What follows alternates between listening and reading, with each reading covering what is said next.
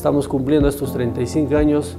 Esperemos que sigamos en esta cena del, de los éxitos con cada uno de los docentes y les deseamos un feliz aniversario a cada uno de nuestros docentes, a los estudiantes, a los trabajadores administrativos, los cuales son los que se identifican con nuestra facultad y por ende por nuestra universidad.